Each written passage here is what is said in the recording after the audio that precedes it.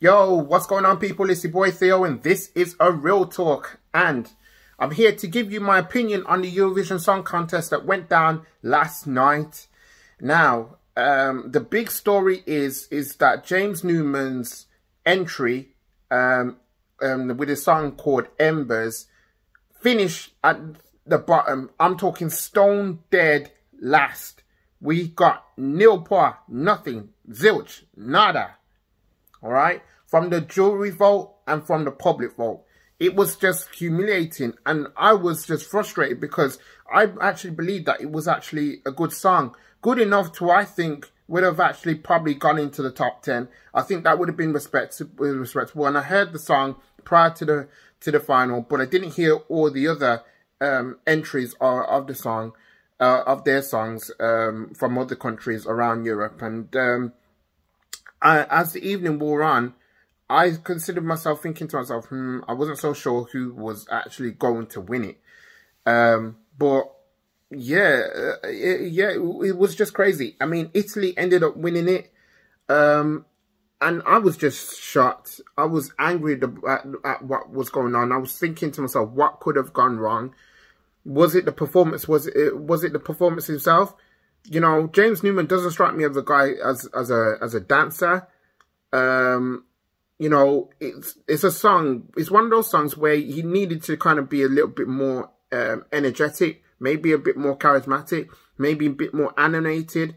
But hearing the song, and I can tell you this because I've got experience working in the recording studio. I've got um, a, a, bit of work experience, so my, so I know what I'm talking about when I know when I hear a good song and I know a lot of people might not agree with me, and that's fine, but I simply believe that we deserve to be a lot better than that. We should have finished a lot better than that. Um, and and yeah, we got nothing. We got we got absolutely nothing. You know, I know we weren't alone in in getting in in in dishing out points when it came to the public vote because there were five other countries that actually got um, nothing from the public vote. But still, it was just embarrassing. It was humiliating, and I utterly feel for James um, uh, James Newman for uh, for it. Um, to be honest, it's not his fault how how things kind of unfolded. You know, he probably was thinking to himself, "What's going on here?" I was just very surprised of how it's it all came to be. Now, a lot of people would tell me that it's to do with Brexit the the rest of Europe hates us because we are we are out of the European Union. Look, regardless of what's going on politically, right? You cannot stop and stop to say, look, listen, this is all to do with the fact that you know we don't care about Europe or whatever. You know, no, none of that, none of that. You know, I still consider myself to be European, right? I'm born in this country. I'm born in the UK, right? Born in Birmingham and, um, you know, I can still see, consider myself as European. And I've been lucky to, to go to uh, countries. I've been to Greece, I've been to Spain, I've been to Turkey, you know, um, and I want to see more of Europe going forward.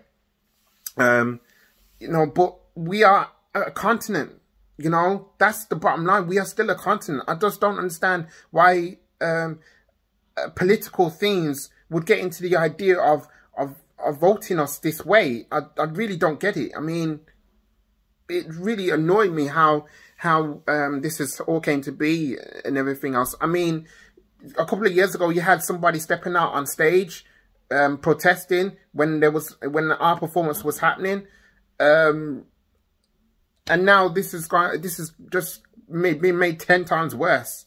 So it's just really annoying, you know. Um, but it just begs the question, should we actually start entering in the, the Eurovision Song Contest? Because we haven't won since 1997, and that was when Katrina and the Waves won it. Um, but I don't know if we, I don't know if we're gonna be able to win it. Um, to be honest, I don't know. I truly, truly don't know. Um, I don't know what song it's gonna take. We tried basically everything that we could do. You know, we had big stars. You know, James Newman came into James Newman came into the fray. Blue um, uh, entered a few years ago. It's it's just getting harder and harder and harder now, and I don't know how we're gonna be able to really crack the Eurovision. but by the way, the thing that I can say as well is that I did have fun watching it.